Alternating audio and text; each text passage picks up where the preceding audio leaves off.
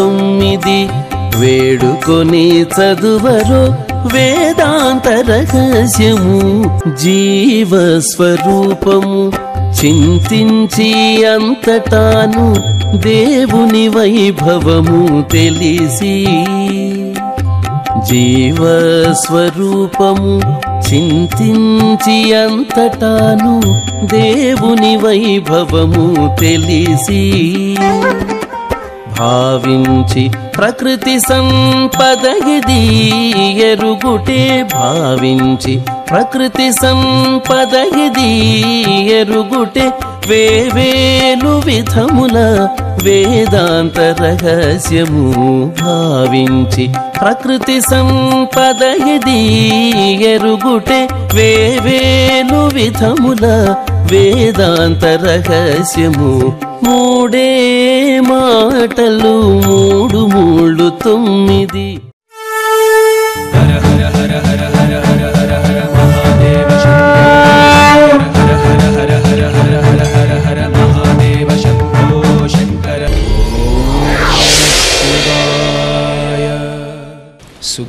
సమగ్రయతున స్వయమీవ లక్ష్మీ శ్రీరంగరాజమహిషీ మధురై కటాక్షై. వైదగ్ధ్యవర్ణగుణగుంభనగౌరవైర్యాం కండూలకర్ణకుహరాహ కవయోధయంతి. హైమోధ్వపుండ్రమజహన్మకుటం సునాసం మందస్మితం మకరకుండలచారుగండం.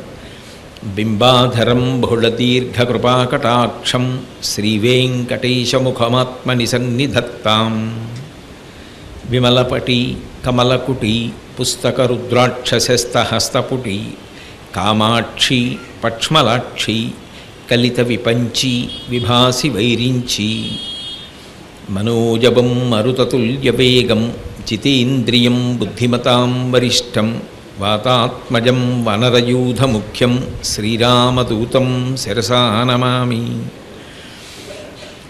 ఆపదామపహర్తారం దాతారం సర్వసంపదాం లోకాభిరామం శ్రీరామం భూయో భూయో నమామ్యహం. హరి ఓం.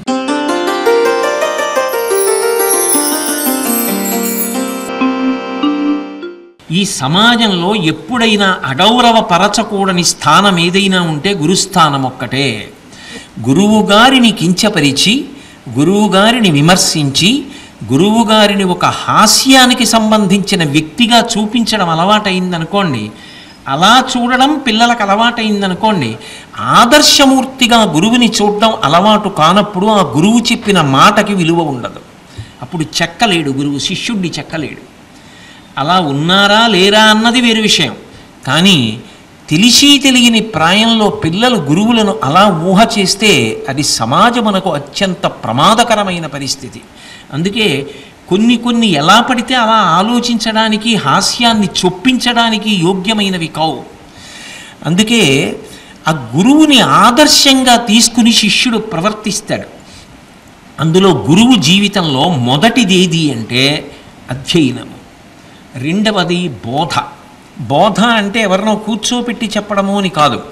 మొదట ఎవరితో మాట్లాడుతుంటాడు అంటే తన భార్యతో మాట్లాడుతుంటాడు. ఏమో ఎంత మంచి శ్లోకం చదివాను అనుకుంటున్నావు ఎంత గహనమైన విషయాన్ని ప్రతిపాదన చేశారు? అభ్యున్నతి అది కారణం కదా. అంటే తన మనసులో ఆనందము పట్టక నిండిన బింది నుండి నీరు కారినట్టు ముందు తన కుటుంబంతో పంచుకుంటాడు. అనురక్తి ఎక్కువ అవుతుంది. ఆ ఒక్క విషయం మీద ఇంకా బాగా పరిశీలనం చేస్తాడు. దాని మీద తీవ్రమైనటువంటి విశ్వాసము కలుగుతుంది. దాన్ని శ్రద్ధ అంటారు. ఈ శ్రద్ధ తపస్సుకి కారణమవుతుంది. తపస్సు అంటే ఏకాగ్ర దృష్టితో దానిని చెయ్యడం. చెయ్యాలని త్వర. బా ఇప్పుడు తెల్లవారుతుంది? నేను ఆ పని చెయ్యాలి. అంత ఉత్సాహంతో శాస్త్రము చేత ప్రతిపాదింపబడినటువంటి విషయమును అనుష్ఠానము చేస్తాడు. అది తపస్సుగా మారుతుంది. ఏకాగ్ర దృష్టితో ఎందుకని ఇష్టమైన పదార్థం తింటున్నప్పుడు ఇంకా లేదనుకోండి ముక్కలు విరుచుకుని దాన్నే బాగా ఆస్వాదించినట్టు ఆ విషయము అభ్యున్నతికారకము అని శ్రద్ధ చేత నమ్మి బాగా దృష్టి పెడతాడు. అది తపస్సు. తపస్సు చేత సాధించలేనిది లోకంలో లేదు. భాగవతం ప్రారంభమే తపస్సు. అన్నిటికీ విరుగుడు తపస్సే. ఏకాగ్ర దృష్టి పెరుగుతుంది. ఇప్పుడు ఆచరణ. అంటే ఇప్పుడు ఆచరణ చేస్తూ ఉంటాడు. ఆ చేసినప్పుడు మనసు శరీరము వాక్కు దాని ఎందు నిక్షేపిస్తాడు. ఇది పరిశీలిస్తూ ఉంటాడు శిష్యుడు. ఇది గురువుగారి క్రమం. అలా పట్టుకుంటారు గురువుగారి విషయాన్ని. అలా అనుష్ఠిస్తారు. తడబాటు ఉండదు తొందరబాటు ఉండదు. దాన్ని నమ్మడం అంటే అలా నమ్ముతారు. అలా అనుష్ఠిస్తారు. దాని ప్రయోజనమును పొందుతారు. కాబట్టి మనం కూడా అలా ప్రవర్తించాలి. మీరు ఒక్కటి గమనించవలసి ఉంటుంది. నమ్మడం వేరు ఆచరించి ప్రయోజనం పొందడం వేరు. ఈ రెండిటికి మధ్యలో సహనం అన్నది అవసరం. ఓర్పు లేకుండా ఇవాళ ఏదో చేసి వెంటనే ఫలితాలు వచ్చేయమని కోరకూడదు కదా. ఏదో ధీరే ధీరే రేమనా ధీరే సభకు చెహోయ్ మాలీ సీంచే సౌకరే ఋతువాయే ఫల్హోయ్ అంట. ఇవాళ నాగలి పెట్టి దున్ని విత్తనాలు వేసి సాయంకాలం వచ్చి ఏమండి గోగ్రాసం పెరిగిపోయిందా అంటే ఎలా పెరుగుతుంది? నిజమే కష్టపడ్డావు దున్నేవు. పెంటపోగు తెచ్చి పూసావు విత్తనాలు తెచ్చి వేసావు ఆగాలి కొన్నాళ్ళు గడ్డి పెరగడానికి అంతేగాని మరునాడు పొద్దున్న సాయంకాలం వచ్చి ఇంకా పెరగలేదా అంటే? సహనం అవసరము నువ్వు ఎదురు చూడాలి. ఒక చెట్టు వేస్తే ఆ ఋతువు వచ్చేదాకా అది కాయదు. ఆ ఋతువు వచ్చే వరకు నువ్వు ఆగగలగాలి. ఒక కర్మని అనుష్ఠానం చేస్తున్నప్పుడు అది ఫలితం ఇవ్వడానికి కొంత వ్యవధానం ఉండవచ్చు. లేదా ఉత్తరక్షణం ప్రయోజనం ఉండవచ్చు. సహనం అలవాటు కావాలి. ఆ సహనం అనేటటువంటిది గురువు దగ్గర శాస్త్రీయ ప్రమాణముగా స్వీకరిస్తాడు శిష్యుడు ఇప్పుడు. స్వీకరించి అందరితో కలిసి కూర్చుని చదువుకోవడం అలవాటు చేసుకుంటాడు. ఇప్పుడు చిట్ట చివర తాను ఇంత కష్టపడి తెలుసుకుని శ్రద్ధతో నమ్మి అనుష్ఠించి ప్రయోజనమును పొందిన విషయము కాలమునందు ఆవిరైపోకుండా అందరికీ అందడం కోసమని దాన్ని వాగ్రూపంగా పంచిపెట్టేస్తాడు గురువు. ఇంత కష్టపడి కదూ తను సేకరించాడు. ఇది పంచిపెట్టేటప్పుడు నాకే ప్రయోజనం వస్తుంది. ఆయన ఏం ఆలోచించాడు. అది పంచిపెట్టడం తన ధర్మం. నేను ఇది పంచిపెట్టకుండా వెళ్ళిపోతే నాతో పాటు వెళ్ళిపోతుంది. విద్య ప్రవహించలేదనుకోండి అందుకే సరస్వతి అంటారు. విద్య ప్రవహించకపోయినా నీరు ప్రవహించకపోయినా మురుగుడు వాసన వస్తుంది. విద్యయందు లోభబుద్ధి ఉంటే నేను ఇందుకు ఇతరులకు పంచిపెట్టాలన్న భావన వస్తే దాని వలన సమాజమునకు ప్రయోజనం ఉండదు. అది ప్రవాహము కింద వెళ్ళిపోవాలి ఒకరి నుంచి ఒకరికి. వెళ్ళిపోతేనే ప్రయోజనం. అందుకని చిట్ట చివరిదిగా ఏ విధమైన ప్రయోజనమును ఆశించకుండా చెప్పడము తన కర్తవ్యమని అది పది మందికి అందాలని ప్రచారం చేస్తాడు. ఇవి నాలుగు గురువుగారి జీవితంలో అంతర్లీనములై ఉంటాయి. త్యాగే నైకే అమృతత్వమానసు. అది చివరికి వెళ్ళేటప్పటికి మహాత్యాగముగా పరిణమిస్తూ ఉంటుంది. ఏది ఆశించకుండా తాను అనుష్ఠించినది చదివినది చర్చించినది నమ్మినది తపస్సు చేసినది ఫలితమును పొందినది ప్రజలకు పంచిపెట్టేస్తాడు. ఇది శిష్యుడు పరిశీలనం చేస్తాడు. పట్టుకుంటాడు. పట్టుకుని గురువుగారి అడుగుజాడలలో తాను నడవడం మొదలెడతాడు. ఇప్పుడు అలా నడవడం మొదలెట్టాడు అనుకోండి ఆ నియమపాలన అలవాటైందనుకోండి తాను ఉద్వేగపడడం. తాను ఉద్వేగపడకుండా ఉండగలిగాడు అనుకోండి మొట్టమొదటిది ఏది అంటే తాను శాంతి పొందుతాడు. ఒక చెరువులో నీరు రాయి పడి కెరటములు కెరటములుగా కదలటం లేదనుకోండి ఏ కెరటములు లేకుండా ప్రశాంతముగా ఉన్నటువంటి సరోవరము అంటాం. అది పెద్ద ప్రవాహం కింద కెరటాలతో కదిలిపోతోంది అనుకోండి పెద్ద ఘోషతో ఉన్నది అంటాం. అడుగు పెట్టడానికి భయపడతారు. ఏ ఉద్వేగమును పొందడు. నియమపాలనం ఏం చేస్తుంది అంటే మనిషికి ఉద్వేగమును ఆపి ప్రశాంతతను కలుగచేస్తుంది ప్రశాంతత బయటికి దొరకకుండా దాక్కునేది కాదు. ఇది మీరు బాగా పట్టుకోవాలి. ప్రశాంతత మనిషి ముఖమునందు తెలుస్తుంది. ఆయన దేని చేత కదలడు? కదలడు కనుక పరమ ప్రశాంతంగా ఉంటాడు. దేనికి ఉద్వేగపడడం. ఎందుకని అరగంటలో వెళ్ళవలసిన దానికి పది నిమిషాలలో బయలుదేరి ఉద్వేగపడడం. చదవవలసిన దాన్ని చదవకుండా ఉద్వేగపడడం. చెప్పవలసిన దాని మీద అధికారము లేకుండా సభకి వచ్చి ఉద్వేగపడడం. వినవలసిన దాన్ని సరిగ్గా వినకుండా చెప్పవలసి వచ్చినప్పుడు తడబడడం. ఇవన్నీ ముఖమునందు అశాంతి తాండవించి కనపడతాయి. తాను చెయ్యవలసినది చేసి ఉన్నాడనుకోండి ఏది పట్టుకోవాలో అది పట్టుకుని మనసులో తిప్పి ఉన్నాడనుకోండి గురువు అడగగానే చెప్పగలుగుతాడు. చెప్పగలిగిన నాడు ముందు చెప్పకుండా పిలిచి అడిగినా చెప్పగలిగిన స్థితి ఉంటే ఆ సాధన ఉంటే ముందు ముఖంలో శాంతి కనపడుతుంది.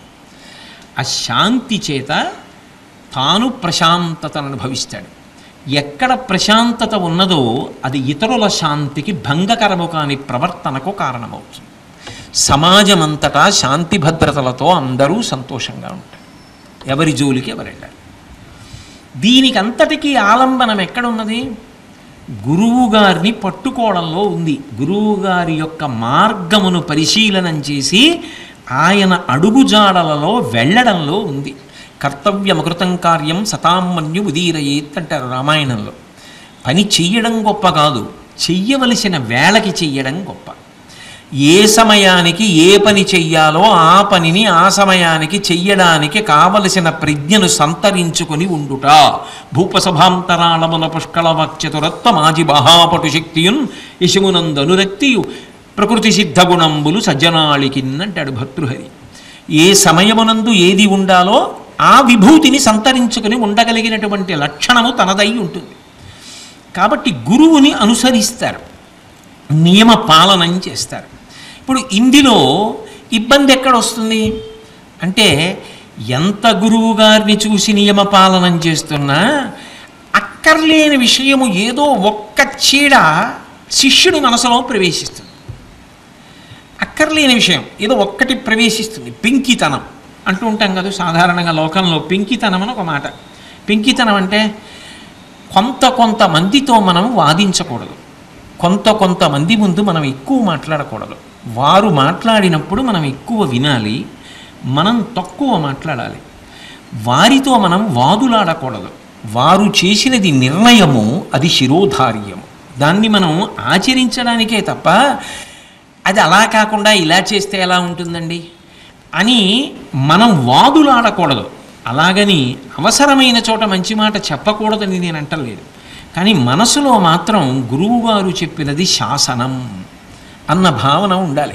గురువుగారు ఓ మాట చెప్పారనుకోండి. దాని వలన ఏదో ఉపద్రవం వస్తుందనుకుంటే చెప్పచ్చు తప్పేం లేదు. సాధారణంగా గురువు నోటి వెంట వచ్చిన మాట శాసనం అనేటటువంటి భావనతో శిష్యుడు ఉండడం అభ్యున్నతి కారకం. ఎంత మంచి శిష్యుడైనా ఒక్కొక్కసారి ఎక్కడో అక్కర్లేని పెంకితనం అక్కర్లేని మొండితనం అక్కర్లేని వాదులాట అక్కర్లేని ప్రతిపాదన అర్ధరహితమైనటువంటి ప్రతిపాదనలు బయలుదేరతాయి. గురువు గొప్పతనం ఎక్కడంటే శిష్యుణ్ణొక్కడిని దిద్దడప్పుడు శిష్యుణ్ణి అడ్డుపెట్టి లోకాన్ని దిద్దుతాడు. అప్పుడు కాలముతో దేశముతో సంబంధం ఉండదు అది ఆ కాలమునందు జరిగింది ఆ దేశమునందు జరిగింది అని ఉండదు. అది పురాణాంతర్గతం అవుతుంది అయి అటువంటి దోషము జరగకుండా ఉండడానికి కారణముగా శిష్యుణ్ణి దిద్దుతాడు. ఒకప్పుడు జరిగింది భారతంలో. విశ్వామిత్ర మహర్షి గాలవుడని ఒక మునికుమారుడు. ఆ మునికుమారుడు విశ్వామిత్రుడి దగ్గర విద్యాభ్యాసానికి వచ్చాడు. గురువుగారు విద్యాభ్యాసంకి వచ్చినటువంటి శిష్యుణ్ణి అక్కున చేర్చుకున్నారు. తండ్రి ఎలా ఉంటాడో అంత ప్రేమగా ఉంటాడు గురువు. కాబట్టి ఆ శిష్యుడికి యోగ్యమైన విద్యలన్నీ బోధించాడు. ఒరే నాయన నీకు చెప్పవలసిన విద్యలు బోధించాను. నువ్వు ఉత్తీర్ణుడవయ్యావు. కాబట్టి ఇక నువ్వు గురుకుల వాసం విడిచిపెట్టి వెళ్ళి రావచ్చు అన్నారు ఆయన అన్నాడు గురువుగారు నేను మీకు గురుదక్షిణ ఇద్దాం అనుకుంటున్నాను అంటే విశ్వామిత్రుడు అన్నాడు అక్కర్లేదు. నేను నీ ప్రవర్తన పట్ల సంతోషించాను. ఏ దక్షిణ అక్కర్లేదు. వెళ్ళిరా అన్నాడు. ఏం చేయాలి? వద్దని చెప్పినప్పుడు ఊరుకోవాలి. అలా ఊరుకోరు కొంతమంది. మొండితనం పెంకితనం. వాళ్ళు అనుకున్నది చెయ్యాలి. అవతలవాడు అనుకున్నట్టు నేను చేయడం కాదు. నేను అనుకున్నట్టు అవతలవాడు వినాలి. అది మొండితనం అంటే. ఏదో విశ్వామిత్రుడికి లేనట్టు ఈయన ఇవ్వగలిగినట్టు ఓ పెంకితనానికి పోయాడు. పోయి మీరేదో ఒకటి అడగండి నేను ఇస్తానన్నాడు. నీకు కాదు ఈ చీడ లోకంలో ఏ శిష్యుడికి ఉండకూడదనుకున్నాడు విశ్వామిత్రుడు. అనుకుని మనసులో ఒక్క ఎనిమిది వందల తెల్ల గుర్రములు ఒక్క చెవి మీద మాత్రమే నల్లమచ్చన్నవి తెచ్చిపెట్టు అని లోపలికి వెళ్ళిపోయాడు. తెలుసు విశ్వామిత్రుడికి అవి ఆరు వందలే ఉన్నాయి ఈ భూమి మీదని. ఉన్నవే ఎనిమిది వందలు. ఒకప్పుడు ఆ ఎనిమిది వందలు భూమి మీదకు వస్తున్నప్పుడు రెండు వందలు మరణించాయి. ఆరు వందలు మాత్రమే ఉన్నాయి తప్ప ఆరు వందల ఒకటో గుర్రం లేదని విశ్వామిత్రుడికి తెలుసు. శిష్యుడికి తెలిసి రావాలిగా పెంకితనం అంటే ఏమిటో దాని పరాకాష్ట ఏమిటో తెలియాలిగా? అలాగే తెస్తానని బయలుదేరాడు. ఎక్కడ దొరుకుతాయి? ఒళ్ళంతా తెల్లగా ఉండి ఒక్క చెవి మాత్రమే నల్లగా ఉన్న ఎనిమిది గుర్ర ఎనిమిది వందల గుర్రాలు కావాలి. తిరిగాడు తిరిగాడు తిరిగాడు తిరగలేకపోయాడు. ఆఖరికి ఏదో బాల్య స్నేహితుడు గరుత్మంతుడిని ఆశ్రయించాడు. ఆ గరుత్మంతుడు ఈ గాలవుణ్ణి తన భుజాల మీద ఎక్కించుకుని మనం ఊర్ధ్వలోకానికి వెళ్ళి ప్రయత్నం చేద్దామని తూర్పు దిక్కుగా ఎగిరాడు. ఈ ఎగరడంలో గరుత్మంతుడికి ఒక మహర్షి శాపం ఇచ్చాడు. ఇవ్వడంలో రెక్కలు పోయాయి. మళ్ళీ అనుగ్రహిస్తే రెక్కలు వచ్చాయి. ఓయ్ బాబు ఇది మనకు అచ్చి రాలేదని వెనక్కి వచ్చేసారు మళ్ళీని. ఈయన పెంకితనానికి గరుత్మంతుడు కూడా ఇబ్బంది పడ్డాడు స్నేహితుడు. ఆఖరికి ఏం చేయాలో అర్థం కాక ఇక్ష్వాకురాజు గారి దగ్గరికి వెళ్ళారు. వెళితే ఆయన ఏం చేశాడంటే అబ్బాయి నా దగ్గర రెండు వందల గుర్రాలే ఉన్నాయి. నేను మిగిలిన గుర్రాలు నీకు ఇవ్వలేను కానీ నా కుమార్తె ఉంది ఆమెని ఇస్తాను మాధవి అని ఆమె సహకారం కూడా తీసుకో. ఆమె వలన నీకేమైనా గుర్రాలు లభిస్తే లభించవచ్చు అని ఇచ్చాడు. వెనక గరుత్మంతుడు బయలుదేరాడు. ఆ తర్వాత తిరిగి తిరిగి తిరిగి ఒక స్థితిలో ఇక గురువుగారి మాట చెల్లించలేను వద్దు వద్దు అంటుంటే తగుదునమ్మా అని ఇస్తానని బయలుదేరాను. ఎందుకు వచ్చిన పెంకితనానికి పోయాను? ఇలా వెళ్ళి గురువుగారి దగ్గర నేను ఇవ్వలేనండి అని చెప్పడం కన్నా ప్రాణం వదిలేయడం మంచిదన్న స్థితికి వచ్చాడు. వచ్చిన తర్వాత గరుత్మంతుడు మాధవి ప్రోత్సహించి మళ్ళీ అక్కడి నుంచి భోజదేశాన్ని పరిపాలించేటటువంటి రాజుగారి దగ్గరికి కాశీరాజు గారు దివోదాసు దగ్గరికి తీసుకెళ్ళాడు. వాళ్ళు ముగ్గురు ఈ మాధవి యొక్క సౌజన్యము వలన నీకు మేము చెయ్యగలిగిన ఉపకారం మా దగ్గర రెండేసి వందల గుర్రాలు ఉన్నాయని ముగ్గురు రాజులు మూడు రెళ్ళు ఆరు వందల గుర్రాలు ఇచ్చారు. ఈ ఆరు వందల గుర్రాలు పట్టుకుని బయలుదేరాడు. ఇంకా రెండు వందలు తక్కువ వచ్చాయి. ఎక్కడున్నాయి? ఎక్కడ లేవి ఇక భూమి మీద. అడిగినవిన్నీ ఎనిమిది వందలు. ఎక్కడ తెస్తాడు మిగిలిన రెండు వందలు? అప్పుడు గరుత్మంతుడు అన్నాడు ఈ ఆరు వందల గుర్రాలు వేసుకుని ఎక్కడికని తిరుగుతావు నువ్వు? విశ్వామిత్రుడి దగ్గరికి వెళ్ళి నా బుద్ధి గడ్డి తింది. మీరు వద్దన్నాక ఊరుకుంటే పోయేది. తగుదునమ్మా అని అబ్బెబ్బెబ్బే మీకు ఇవ్వవలసిందేనే ఇవ్వవలసిందే నేను అన్నాను. మీరు ఎనిమిది వందలు అడిగారు నేను ఇవ్వలేను.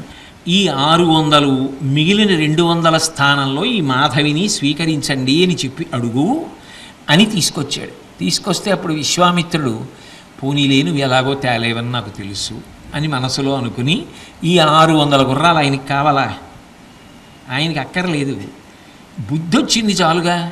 అందుకని ఆరు వందల గుర్రాల్ని ఆ మాధవిని స్వీకరించాడు. ఈ కథ మహాభారతంలో ఎక్కడుందంటే ఉద్యోగ పర్వంలో యుద్ధానికి వెళ్ళడానికి దుర్యోధనుడు సిద్ధపడుతూ ఉంటే నారద మహర్షి వచ్చి పెంకితనానికి పోయినటువంటి ఆ గాలవుడు ఎన్ని ఇబ్బందులు పడ్డాడో ఎవరు చెప్పినా వెనక పెంకితనానికి పోతే అన్ని ఇబ్బందులు పడతావురా అని గాలవ వృత్తాంతాన్ని చెప్పాడు.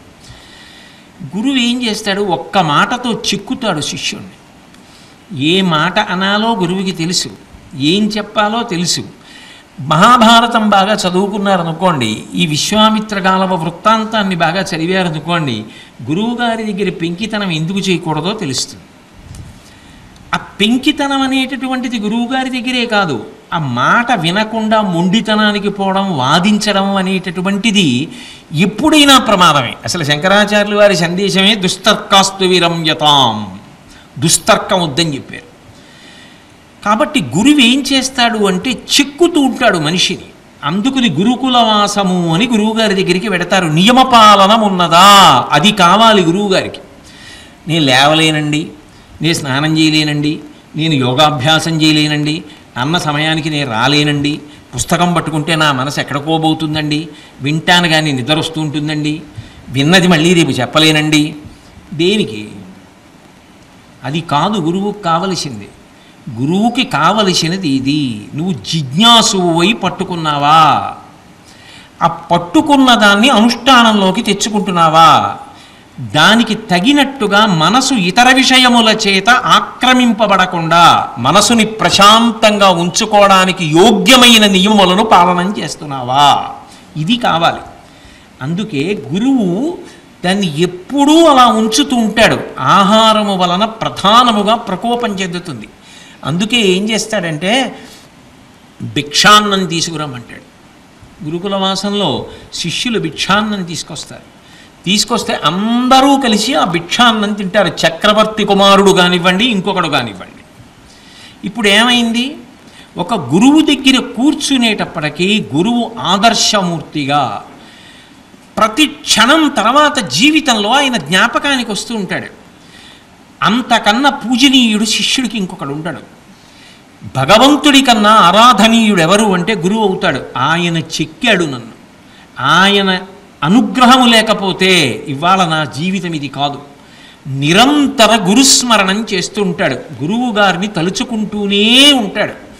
ఎప్పుడైనా భగవంతునితో విస్మృతి ఉంటుందేమో కానీ గురువుతో విస్మృతి ఉండదు. అందుకే మీరు చూడండి శంకర భగవత్పాదులంతటి వారు ఒక చీకాకైన సన్నివేశం కనబడితే భజ గోవిందం భజ గోవిందం గోవిందం భజ మూఢమతే అన్నారు. గోవింద భగవన్నామస్మరణం. నిజానికి గురువు గారి మాట సరిగ్గా నీకు జ్ఞాపకం రాకి ఇలా అయిపోతున్నావు? ఆయన గురువులు గోవింద భగవత్పాదులు ఆయనకి జ్ఞాపకానికి వచ్చారు. కష్టంలో సుఖంలో ఇబ్బందిలో ధర్మం తప్పుతున్నప్పుడు ధర్మాన్ని పాటిస్తున్నప్పుడు ఎప్పుడూ ఎవరు గుర్తొస్తారంటే గురువు జ్ఞాపకానికి వస్తుంటాడు. గురువు గారు ఏం చెప్పారు? మనం ఏం చేస్తున్నాం? ఎలా బ్రతుకుతున్నాం? ఈ పాటి దానికి ఎందుకు? గురువుగారు ఎలా చెప్పారో అలా బ్రతకనప్పుడు అనవసరం. ఎప్పుడు కష్టంలో సుఖంలో కూడా గుర్తొచ్చేవాడెవరు అంటే గురువే. అందుకే గురువు నుండి మనసు విస్మృతి పొందదు అందుకని గురుకుల వాసం చేస్తారు. ఇప్పుడు గురుకుల వాసం మేము ఎలా చేయాలండి? అని బెంగేం లేదు. గురువు గురువును పరిశీలనం చేసి గురువుగారి మార్గంలో ప్రయాణించడమే గురుకుల వాసం అనుకోండి. ఆనాటి పరిస్థితులని నేను విశ్లేషించాను. చేయగలిగితే మంచిదే అసాధ్యం ఏదీ కాదు. కాబట్టి ఆ మాట అందుకు చెప్తున్నాడు మొట్టమొదట గురువు సంతోషించి ఆదరించాలి. గురువు సంతోషించి ఆదరించడానికి నా మనసు ఉద్వేగపడేది కాదు. దేనికి ఉద్వేగపడదు? అంటే ఒక్కటి బాగా జ్ఞాపకం పెట్టుకోండి. మనసు ఉద్వేగపడి దేన్నైనా కోరుకుంటే బలి దేన్ని ఇచ్చేస్తుందంటే ధర్మాన్ని ఇచ్చేస్తుంది శాస్త్రీయమైన రీతిలో నాకు ఈ ప్రయోజనము లభించదు. శాస్త్రం ఒప్పుకోదు. కానీ నాకు దాన్ని అనుభవించాలని ఉంది ఆ కోరిక తీర్చుకోవాలని ఉంది అప్పుడు ఏం చేస్తాను? పర్వాలేదు లేదు అదొక్క మాట వాడతాను. ఏం పర ఇంత మడిగట్టు కూర్చుంటే ఎలా? అప్పుడు ఏది పోయింది? ధర్మం పోయింది. ధర్మం పోతే ఏదైనా అనుభవించవచ్చు. ధర్మాన్ని పట్టుకోవాలంటే శాస్త్రీయమైన సుఖాన్నే పట్టుకోవాలి. అంటే త్యాగము అలవాటు కావాలి. దేని కొరకు? శాస్త్రము కొరకు. ఆ బుద్ధి దేని వలన బలపడుతుంది? నియమపాలనం వలన బలపడుతుంది. ఇది ఉన్నవాణ్ణి గురువు సంతోషించి హక్కున చేర్చుకుంటాడు. బృహస్పతి కుమారుడివి కదా. దేవగురువు యొక్క పుత్రుడివి కదా. నా దగ్గరికి ఎందుకు వచ్చావు? అంటే నాకు ఆ భేదం లేదు మీరు గురువులు. మహాపురుషులు. అనేక శాస్త్రములను తెలుసున్నవారు పరమశివానుగ్రహాన్ని పొందినవారు. శివుడంతటి వాడు మింగేశాడు శుక్రాచార్యుల వారిని. ఆయన యొక్క కడుపులో వాసమున్నవాడు అద్భుతమైనటువంటి శివస్తోత్రం చేశాడు. మీరు శివమహాపురాణం ప్రవచనంలో విన్నారు. శుక్రాచార్యుల వారంటే ఏ సామాన్యమైనటువంటి వాడు కాడు మహానుభావుడు ఆయన శుక్రుడు.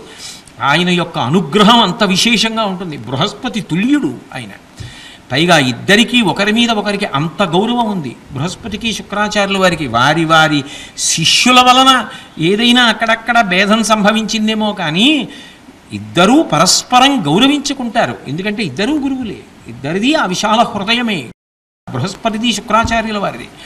అయినప్పుడు మా నాన్నగారు మీ దగ్గరికి పంపించడానికి కారణం మా నాన్నగారితో సమానులు మీరు లేదా అధికులని ఆయన నమ్ముతారు. నా ఎందు మీరు సంతోషించడానికి హేతువేది? మహానియమ సమన్వితుండా. హే భగవన్ ఓ శుక్రాచార్యుల వారు నేను ఏం చేస్తుంటానో తెలుసా? బ్రహ్మచర్యాశ్రమమునకు సంబంధించిన నియమములు ఏవున్నాయో ఆ నియమములను పరిపాలన చెయ్యగలను. నువ్వు ఇది చెయ్యి చెయ్యగలను. ఎందుకని గురువాక్యమును పాటించడంలో నాకు ఒక ఉత్సాహం ఉన్నది పాటిస్తాను. మీరు ఏది చెప్పండి చేస్తాను. అది చేసేటప్పుడు ఈ పనే. దీనికోసం అక్కడి నుంచి ఇక్కడికి వచ్చాను అని అనుకోను. మీకు మీరు చెప్పినది చెయ్యడం నాకు గొప్ప. అది శిష్యుడికి ఉండవలసిన ప్రథమ నియమం. తప్ప గురువుగారు ఒక పని శిష్యుడికి అప్పచెప్పారనుకోండి ఆ పని చెయ్యడం మానేసిన ఆ పని చెయ్యవలసిన దానిని చెయ్యవలసిన రీతిలో చెయ్యకపోయినా అవిధేయత కిందకే వస్తుంది అది కాబట్టి నేను మహానియమ సమన్వితుండా నేను మహానియమములతో కూడుకున్నవాడను. సోత్కర్ష కాదు. మీరు చూస్తారు కచుని యొక్క నడవడి అంటే ఎలా ఉంటుందో. కాబట్టి మహానియమ సమన్వితుండా బృహస్పతి సుతుడన్ ఇప్పుడు చెప్పాడు నేను బృహస్పతి యొక్క కుమారుణ్ణి. నేను దేవగురువు అయినటువంటి వారి యొక్క పుత్రుణ్ణి. తండ్రి అనుమతి లేకుండా మీ దగ్గరికి రానుగా తండ్రి గారే నన్ను మీ దగ్గరికి పంపించారు. అయితే మృత సంజీవని కోసం వచ్చానన్న మాట వాడలేదు. అయితే దాపరికమా కాపక్షమా కానీ కాదు. ఎందుకని అంటే కచుడికి ధర్మం ప్రధానం. ధర్మానుష్ఠానము చేత ఏదైనా సిద్ధిస్తుంది. గురువుని మోసం చేయడం కాదు. అలా చెయ్యాలి అనుకుంటే గురువుగారు మరణించినప్పుడు బతికించకుండా ఉంటే చాలు కచుడు అది కాదు ఆయనకి కావలసింది. ఆయనకి కావలసింది ధర్మానుష్ఠానం. అది పెద్ద అమృతం ఆయన దృష్టిలో. ఈ అమృతం ఏం చేస్తుంది? చచ్చిపోయిన వాడిని బతికిస్తుంది. ఆ అమృతం ఏం చేస్తుంది? ఇక చావే లేకుండా చేస్తుంది. హర హర హర హర హర హర